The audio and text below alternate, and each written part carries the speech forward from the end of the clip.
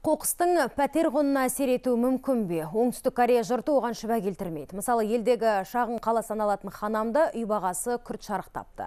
Сеулден 20 шақырым қашықтықта орналасқан шаһарда бұрын қолқаны қабатын иіс тұрушы еді. Қоқыс өңдейтін жаңа зауыт салынғалы бері Ханам экологиялық тұрғыда таза қалаға айналып шыға келді. Және мұнда тұрғысы келетіндердің саны артып келеді.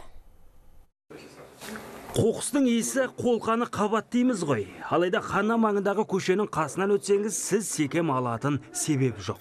Бұл жақта қалдық өңдейтін зауыт барын білетіндердің өзі оның қоршаған ортаға еш әсері жоқ екенін жақсы түсінеді. Әрі таза оймен еркін тыныстайды. 100 метрден асатын мұнара қаланың әр жерінен көрініп тұр. Сол тұста бұрын қалдықтар өңделуші еді. Енді зауыт жер астына көшірілді. Төрт жыл бұрын әлемде жоқ кешен салынды біздегі қоқыс өңдеу кешені төрт бөліктен тұрады бәрі жер астында орналасқан. Мұндай зауыт әлемде жоқ.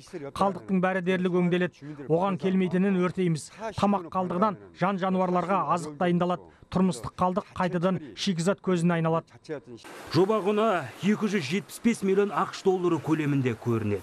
Бұл қаржыға керек жарақ құрылғы қондырғылар сатып алынған. Жағымсыз иісті жоятын құрал да бар. Полиэтилен қапшықтарды ұнтақтап кейін жылу электр станцияларына пайдаланады екен Пенопласты да бөлшектеп кейін керекке жаратады. Ал қағаз бен пластик бөлек сұрыпталады. 야, 저희들은 그 가정에서 버리는 그 бұл зауыт салынғалы қолқаны қабатын жағымсыз иістен құтылдық. Басты жетістіктің бірі сол.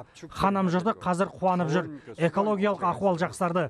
Кешенде күніне 15 тоннаға дейін қоқыс өңделеді. Шикізатты өндіріс орындарына қайта сатамыз. Түскен қаржы зауыттың қажеттілігіне жұмсалады. Қала бюджетіне де көп көмек.